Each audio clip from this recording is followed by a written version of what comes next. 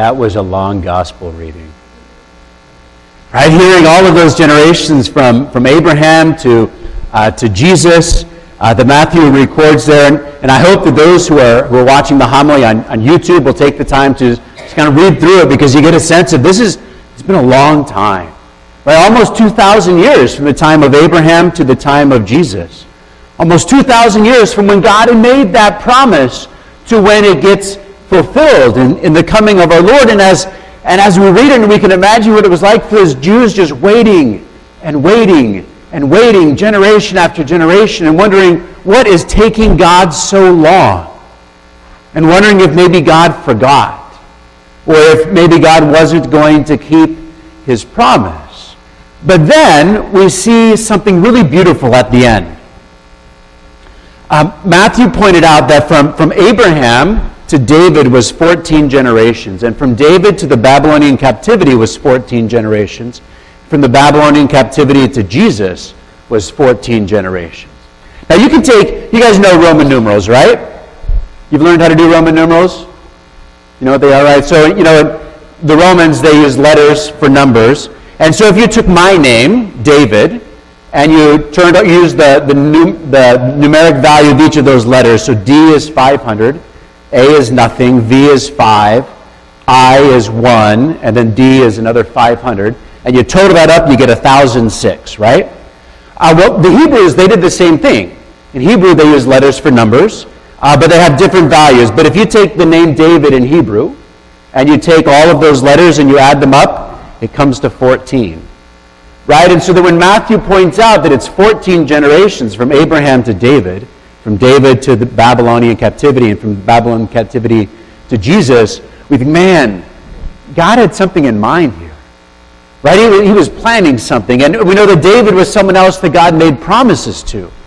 And so this long time of waiting that just seems like God's not keeping his promise, at the very end, Matthew says, oh, and by the way, this is like three times the promise. God is doing something even greater than what you thought he was going to do. And that time of waiting is really important. This past Sunday, um, our, our second reading this past Sunday was from the letter of James. And James used the analogy of a farmer who plants seeds, and then, then it comes in, it rains, and it starts to grow, but then it, then it stops raining. And they have this long dry time. And then finally it starts raining again. They have a second rainy season. And, and then the, the plants are, are ready to be harvested. And, and during that dry time, we can imagine if you're the if you're the farmer looking out at the crops as the ground is just getting drier and drier and drier each day, and the crops stop growing because they don't have any water, it looks like nothing is happening. But actually, at that time, the, the plant it's sending roots down deeper and wider, looking for water, looking for water anywhere it can find it. And so it grows these big roots so that when the rain comes, then it's able to just soak up all of that water and grow really quickly and produce great fruit. But that dry time, it's necessary for the plants to grow their roots. And, and this time of waiting from Abraham to Jesus, this long, long time of waiting, it was necessary for, for people, for their hearts to grow, for their longing to increase, for them to be prepared and to be ready to receive the Lord when He comes. And you know, likewise for us. Um, there's, a, there's a saying I love. It says, um, to, to trust God means to trust in His timing.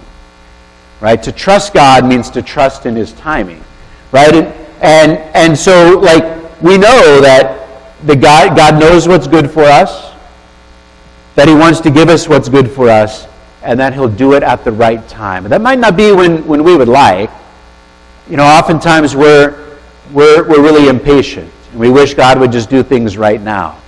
But sometimes God, for very good reason, makes us wait, makes our longing increase. So that way we can love Him more, trust Him more, and grow in our faith. Today, the church begins this it's kind of countdown till Christmas. You know, normally uh, the readings and the prayers of the Mass are based on what day of the week it is. But as we, as we come close to Christmas, it's, um, they're, they're set by how many, how many days it is until Christmas. And so we've started this, this octave of, of preparing us for Christmas that'll be uh, just next week, and reminding us of this, this kind of longing for Jesus that we are supposed to have, that the Lord wants us to have. So we continue with this celebration of the Mass.